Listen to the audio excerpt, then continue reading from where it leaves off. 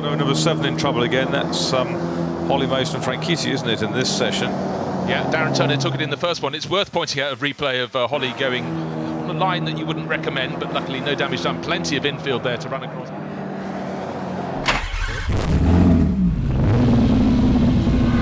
I mean, I've been insulted by Alain Menu.